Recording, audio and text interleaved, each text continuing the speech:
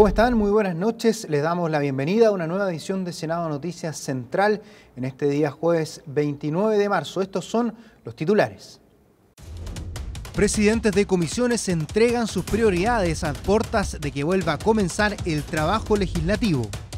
Expectativas por eventual crecimiento del informe de política monetaria que se dará a conocer este lunes.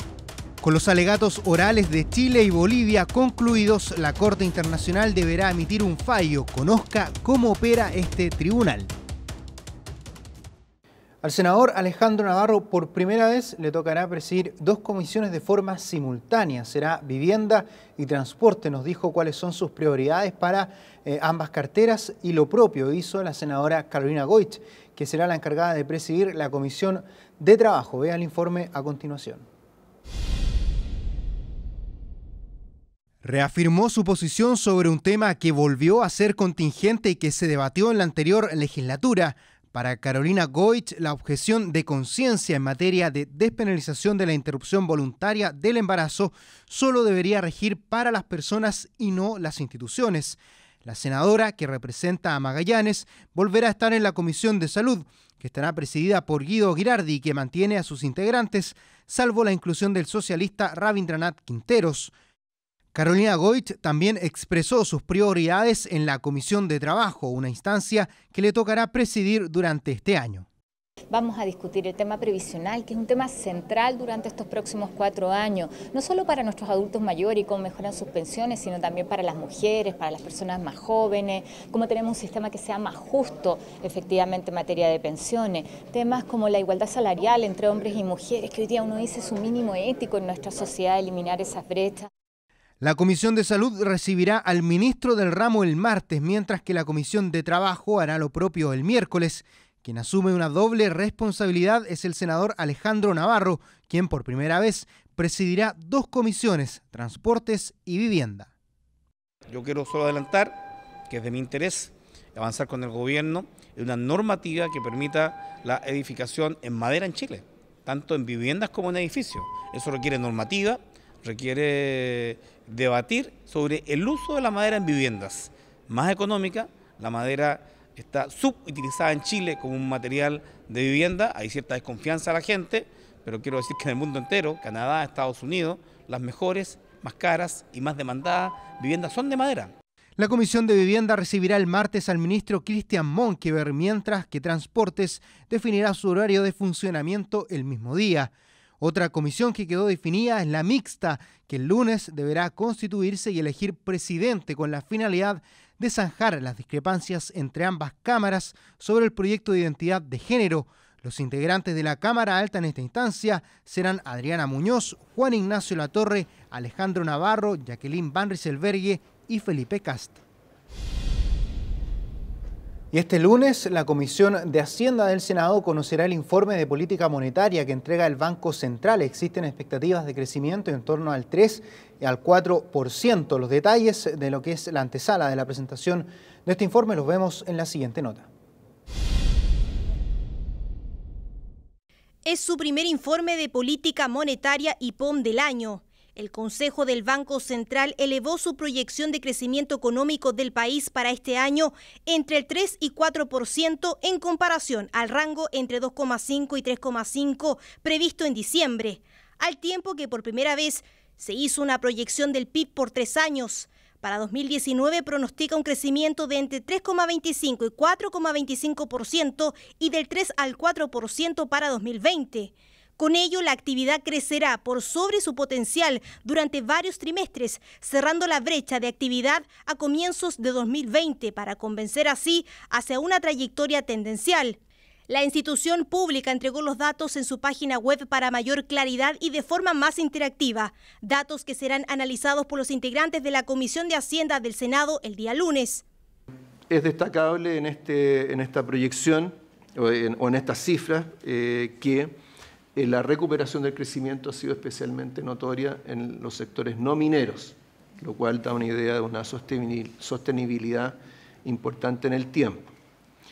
Eh, estos datos conducen a un aumento en el rango de crecimiento desde, eh, 3 y, eh, desde 2,5 a 3,5 a 3 a 4%.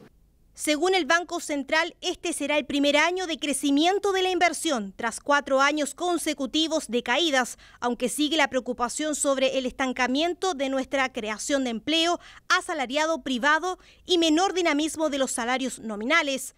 Asimismo, la entidad proyecta un crecimiento de la inversión en maquinaria y equipos, porque la apreciación del peso habrá abaratado las importaciones de bienes de capital y va a ser un incentivo para elevar la inversión en este aspecto plantea que si bien es posible que este ciclo de crecimiento de la actividad exceda temporalmente su potencial, un aumento más sostenido requerirá políticas y reformas adecuadas, como acelerar el crecimiento de la productividad y el capital humano, datos que serán conocidos por la Comisión de Hacienda en el ex Congreso Nacional en Santiago desde las 10.30 horas este lunes 2 de abril, que usted podrá ver a través de las pantallas de TV Senado.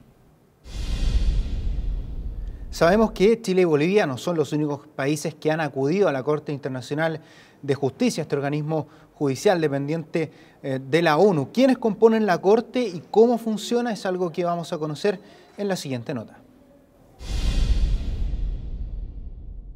Pasaron cinco años para que Bolivia y Chile se encontraran en el Palacio de la Paz en Holanda. El proceso fue largo, estudio de la historia y recopilación de antecedentes, los que luego fueron presentados ante los miembros de la Corte Internacional de Justicia. La demanda marítima interpuesta por Bolivia tiene por objetivo comprobar que Chile ha incumplido la obligación de negociar una salida soberana al Océano Pacífico, algo que el país interpelado intentó desacreditar en cada una de sus intervenciones, apoyado por el equipo de juristas nacionales. Así es como Bolivia describió la situación ante la Asamblea General de las Naciones Unidas en 1987. En distintos momentos, Chile se ofreció a restaurar el acceso de Bolivia al Pacífico, pero en última instancia renegó de sus compromisos. Bolivia ha presentado un caso de hipérbole y distorsión. Bolivia ha representado a Chile como que asfixia a Bolivia. Bolivia mantiene su solicitud de una orden por la que declare que Chile ah, tiene la obligación de negociar para llegar a un resultado específico. Esto no está en consonancia con el fallo de la Corte sobre las objeciones preliminares en 2015. Simplemente esto confirma que Bolivia no ratificó la declaración eh, conjunta de Charaña. Por lo tanto, no es un punto a favor de Bolivia. Desde el 19 al 28 de marzo se realizó la etapa oral de esta demanda. Cada país tuvo nueve horas repartidas en tres días para entregar sus planteamientos. Todo finalizó con las dúplicas de Chile. La memoria de Bolivia, ¿no es cierto?, que, es el símil de la demanda, eh, trata de, a partir de diversos hechos, tratar de establecer que se configura, ¿no es cierto?, esta, esta obligación de negociar un acceso soberano al mar. Pero cada punto planteado por Bolivia fue respondido por los abogados y el agente chileno. La conclusión es clara. Chile no contrajo ninguna obligación jurídica de negociar y menos una de negociar un acceso soberano al mar para Bolivia. Dos, las falencias de la argumentación boliviana quedaron hoy y en estos días al descubierto. En estos alegatos, nuestra presentación jurídica ha desarticulado totalmente los argumentos en que Bolivia pretende fundar una obligación de negociar, tanto uno por uno como asimismo en su conjunto. Con la fase escrita y oral de la demanda concluida, solo queda esperar que el tribunal con sede en los Países Bajos se pronuncie. Deberá analizar la consistencia de los argumentos presentados y deliberar. Pero ¿por qué las naciones acuden a esta instancia judicial? Su jurisdicción y competencia viene dado por el consentimiento de los estados.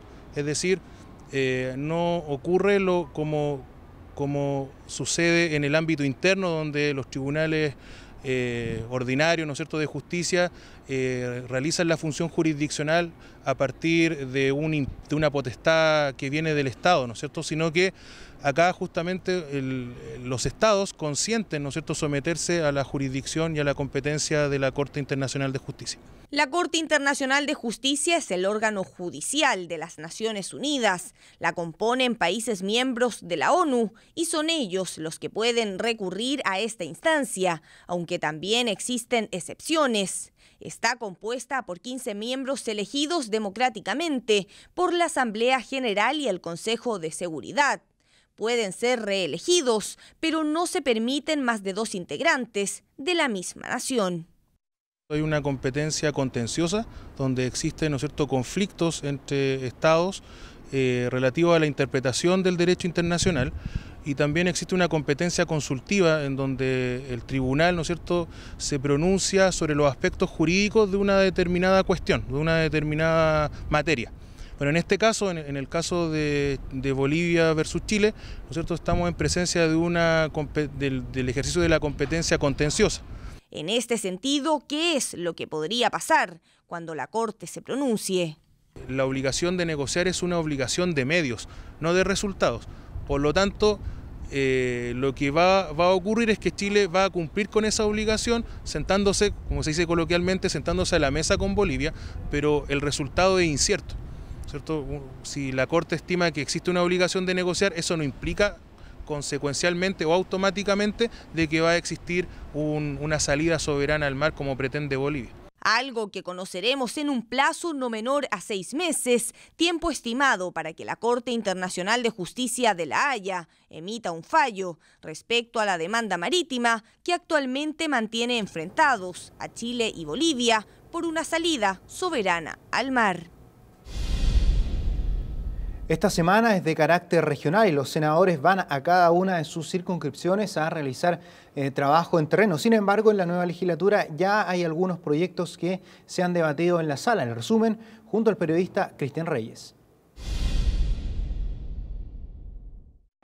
¿Cómo están? Les habla el periodista Cristian Reyes y quiero hacerles una cordial invitación para que nos reunamos este fin de semana largo a recordar los principales hitos que nos dejó la sala del Senado durante este mes de marzo. Por ejemplo, la definición en lo que fue la contienda de competencias entre Contraloría y la Corte Suprema por el régimen previsional de la DGAC, el despacho del proyecto sobre convivencia vial y el análisis para el texto que fomenta la actividad física en nuestros colegios, entre otros puntos. Recuerde, este fin de semana un resumen mensual de la actividad de la sala del Senado durante este mes de marzo.